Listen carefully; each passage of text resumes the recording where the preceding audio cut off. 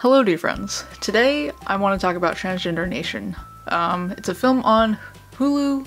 It's like a made for TV sort of like movie thing. Uh, that's exactly what it is. It's a movie. Um, hmm. Basically, it's a movie about um, transgender people in the world and just how they're treated, how they're seen. Um, I think the movie's supposed to be like normalizing people, transgender people in society. I don't, I don't know. The point is that I, I watched this movie and just had to take notes and had to like, I don't want to make an informed decision about it. I don't. The whole point is that I'm trying to summarize it for you, tell you what it did right, did what it did wrong, and how I think it will impact people who might not know too much about the trans com- trans community um, and all of that. So here we go. Disclaimer: I'm reading a script so I'm looking off to the side a little bit. Also, um, this is my own take on the movie. I do intentionally leave out information that I don't feel is pertinent to this video, um, and thus it may seem like I'm skewing the perspective of the movie, but um, most of the things in the film are things that I already know personally, and I'm passing on in summary to you. So if you think I'm leaving something out, it's because of that, and it's most likely because I don't have enough time to get into it in this short video. I also ask you to keep in mind that terms are, and culture is ever changing based on location, so anything that I say may or may not apply to your specific location at the time that you're watching this. Transgender Nation is a documentary about the many definitions of gender and the experiences trans transgender people go through as a way to convey to people who may not know or understand what being transgender means um, how it di differs from sexuality, the different ways people experience gender or lack thereof, and the ways people can experience more than one gender at once. The film also covers a, the biological process for people who may require a more scientific basis um, to understand what is happening. So it took me about two hours to watch this entire movie through because I kept pausing to take notes and write down my thoughts. Um, I really wanted to get a sense of what the movie was and was was and wasn't trying to do, um, and get a sense of what the movie did right to educate people and how it could affect people who are maybe against trans rights. This particular film is produced by Warren Croyle, who also produced H.H. H. Holmes' original Evil, um, which is also on my watch list for a completely different reason. I just, I think he produces a whole bunch of TV movies, um, because all of his other credits are for like alien conspiracy movies. I, most of which I've seen floating around Hulu and Amazon and, and, stuff like that. Similarly, Philip Gardner, the director, has credits about um, exorcisms and other paranormal things. So I think they really took what they knew from producing those sorts of movies to and, and, applied it to this, even though it's kind of a completely different topic. The narration was almost eerie, slow, and concise, just voice narration over related, questionably related uh, video footage, not unlike what we see in like a TV movie about alien conspiracies, so just felt really weird to me. I didn't really like the style of narration, it felt cold and disconnected, which assuming the narrator isn't really trans makes sense in a way, but to someone who's watching the movie to learn, um, they might find the narrator's voice is uninviting and flat out boring to listen to, especially with the many breaks in his trains of thought to let the dramatic theme music thematic music play over the visuals for a few seconds. This movie could have easily been half the time, I think, if he had just put all those brain thoughts together and um, hadn't paused so often. But I guess that's what you have to do when you have to fill an hour time slot and you're trying to keep it simple. But now getting to the meat of the content, I am going to focus much less on the quality of writing, film techniques, etc., like all that. Um, I want to go into what the movie did right, what they did wrong, and how their words could impact those who might not be educated on this topic. Quote, in this film, you're going to lift the veil on the world of the transgender. End quote. Great opening statement. Sure, they go on to define transgender through the lens of the narrator. Quote, I, the narrator, have been born a male, but I may feel like I should really be female. I will therefore identify myself as a female, regardless of what my sexual organs are. End quote. This begins the separation of what the mind thinks from the body and an important step in understanding the trans community. Another important step is separating the word transgender from transsexual. If people want to physically transition, they are transsexual, while those who only go through psychological and social transition are transgender. Transgender is sometimes seen as a third gender that is not male or female. I will give them credit for mentioning that not everyone wants to physically or medically transition. Quote, Transgender covers trans women and trans men who wish to be identified as opposite their birth sex. It may also cover people who are non binary, that is, they are neither sex by birth. End quote. Initially, it seemed like they were lumping intersex and non binary people together, explaining that non binary people have operations in which their parents, quote, choose a sex for their child after they are born, but they do make the separation later on, so I give them a pass on that. They define intersex as having both sexual organs, meaning they are non binary, but not inherently transgender. Other examples of non binary identities that they give are bigender, pangender, gender fluid, and agender, none of which necessarily have biological connotations. Cisgender, on the other hand, is defined as identifying as the sex one was born as, still bearing no biological connotations if one believes themselves to be the exact gender they were bi- biologically born to be, even if that is transgender or non binary, technically making them cisgender. I've seen a lot of arguments on this, I've seen it go every which way in the transgender community, in the cisgender community, whatever you want to call it. The movie doesn't really cover this, um, but I do want to bring it up as something to be aware of. In 1965, an article called Sexual Hygiene and Pathology was published and became the first distinct use of the term transgenderism over the word transsexualism. The difference is in how people perform their gender versus their sexual orientation. Sexuality has nothing to do with transvesti- transvesticism. Can't say that. A transgenderist, a transgenderist um, wants to cross genders but not have physical surgery to alter their body. As the world sprang forward into the 80s and 90s, culture changed and so did appropriate terms to refer to trans people. New definitions grew to include transgenderists, transsexuals, cross dressers, and anyone transitioning, whatever that's supposed to mean. Non binary and gender nonconformity became completely connected to being gay, and FTM, female to male, and MTF, male to female, came to mean people who have medically transitioned.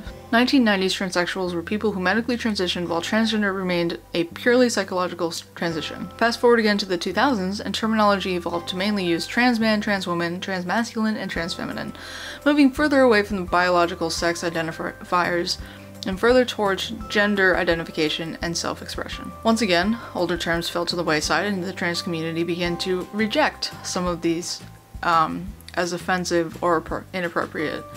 The trans community uh, today rejects the term transsexual, claiming their identity has nothing to do with sexual partners. The nuances of transsexual versus transgender and how each term relates to sexuality, gender, and medically or trans- socially transitioning is rooted in how the modern trans community feels about the definitions. Terminology and culture evolves, people grow and change, reclaiming words that used to mean derogatory things.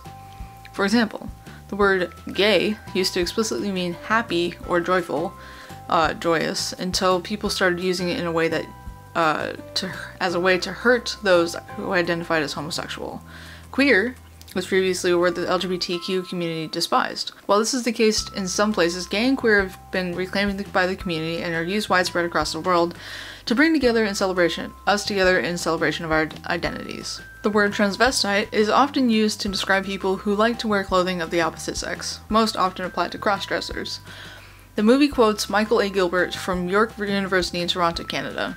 Quote, a person who has an apparent gender identification with one sex, and who has certainly been birth designated as belonging to that sex, but who wears the clothing of the opposite sex because it is that of the opposite sex.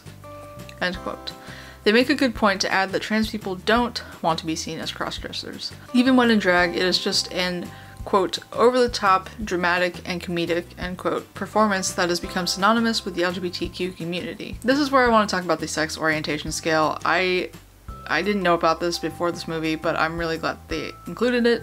Um, this has nothing to do with sexual orientation, but rather biological sex. There are six categories on the SOS for factoring the intensity of gender dysphoria, essentially, in which the sixth level is the most intense and qualifies for HRT and SRS. Crossdresser and drag performers are not counted on the scale because they do not share they do not desire to physically change anything about themselves, only their appearance. Changes in their appearance go against societal norms and what is called cisgender normativity, so people often group them with trans people, but since they only desire to wear clothing of the opposite gender while continuing to identify as the gender they were assigned at birth. Identities besides cisgender that do fall in the SOS include, but are not limited to, gender fluid, uh, androgynous, intergender, and pangender.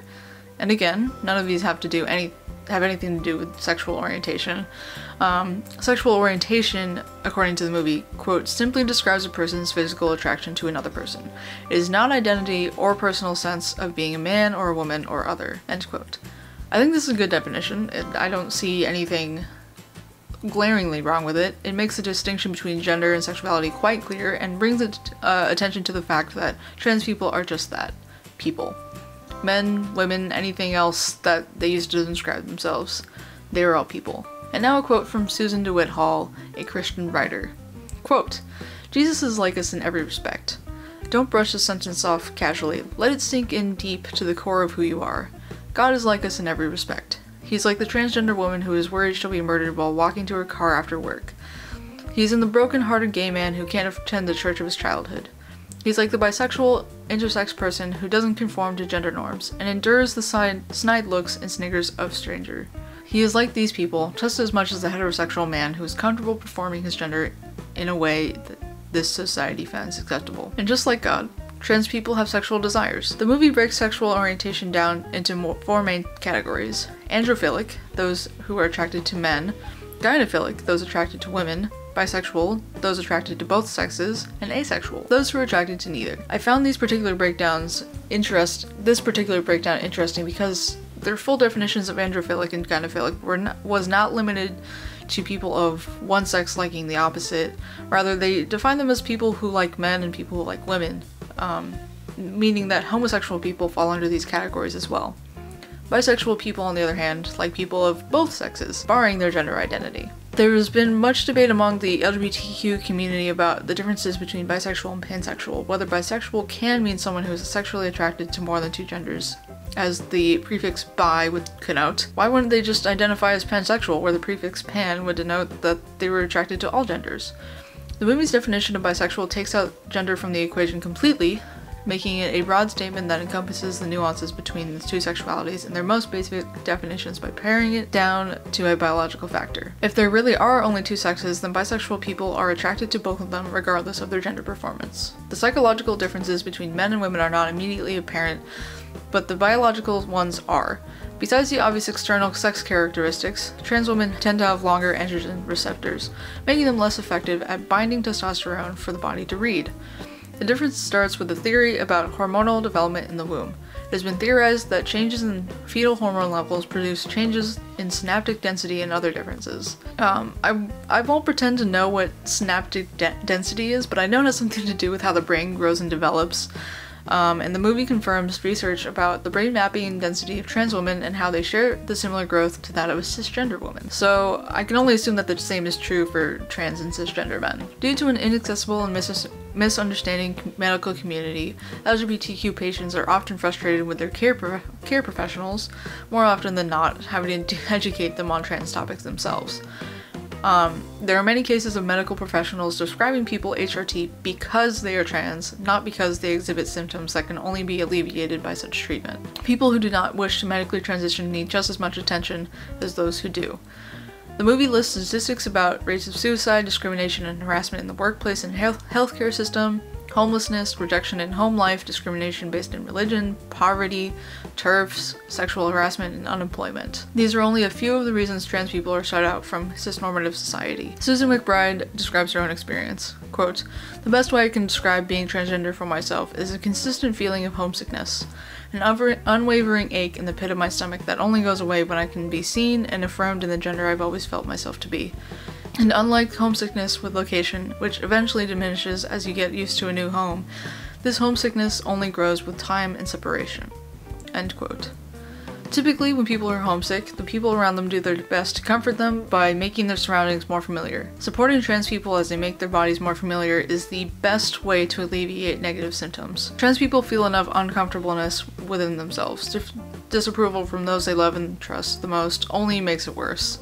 As time goes on and acceptance from both outside and inside increases, the negative feelings dissipate until they are all but a small flame on the back burner of the mind. Outside, there is a more widespread societal acceptance due to media helping to decrease stigma surrounding mental health and transitioning. The movie closes out with an uplifting quote from Ban Ki-moon, the Secretary General of the UN. Quote, but whether we understand what transgender is, or how it feels, or where it came from, we have a duty to show compassion to treat them as equals. Being transgender is not a criminal act. It hurts nobody. Hate hurts. Now that we've got the general summary out of the way, um, and some basic analysis, I want to talk more about what the movie did right, what it did wrong, and how I think it works to educate those who may be less informed, or who may be considering changing their point of view. They give very straightforward definitions, breaking down the history of how appropriate terms have evolved, and giving people an idea of what is and what is not acceptable to say today. Um, in doing this, it also asks people to think ahead to the future, um, to be more aware of the changes as they happen and adjust accordingly. They also attempt to garner sympathy for those who struggle to navigate the health system, um, religious institutions, and family life. Susan McBride's account is supposed to shed uh, light on how some trans people feel inside their own bodies, something that is extremely hard to describe to people unless they've experienced it themselves. Um, I think it does quite well to do this, actually, putting it into a context um, a wider audience can relate to. Not everyone can feel what it is like to be trans, but everyone can feel what it's like to be home homesick, regardless of gender identity or sexual orientation. Um, I, there isn't really much I would consider that the movie did wrong.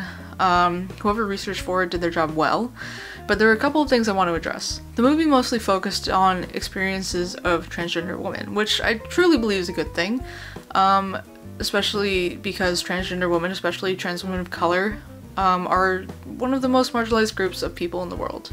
Um, but the visuals of the movie between the random b-roll of people walking around in busy cities and, and, and walking around on a beach, um, they followed three trans women, I believe it was. It was like two or three. Um, I was really busy taking notes, and not really paying attention to the, the visual aspect of things once I saw that it was just gonna be like random b-roll footage. Um, but they, they follow these trans women throughout the movie as they did like various tasks. Some of them were fine, such as like cooking or doing housework, but a majority of the scenes were um, trans women dressed in lingerie and like helping each other put on makeup and playing with a camera, which seems harmless at first until you consider how trans women are often sexualized and cast aside as being just an act behind closed doors. Um, perhaps the movie was trying to show trans women in a context they would um, people would understand and be more familiar with, like how they use Susan's quote to help people familiarize themselves familiarize themselves with how it feels to be trans through homesickness.